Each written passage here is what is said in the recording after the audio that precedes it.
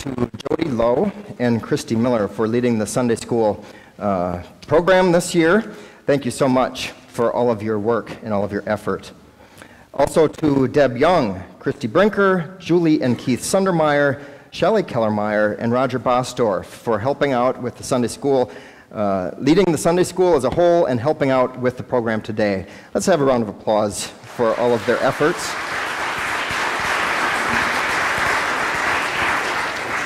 Thank you so much for all of your time and all of your energy and for sharing the beautiful story that this season is all about.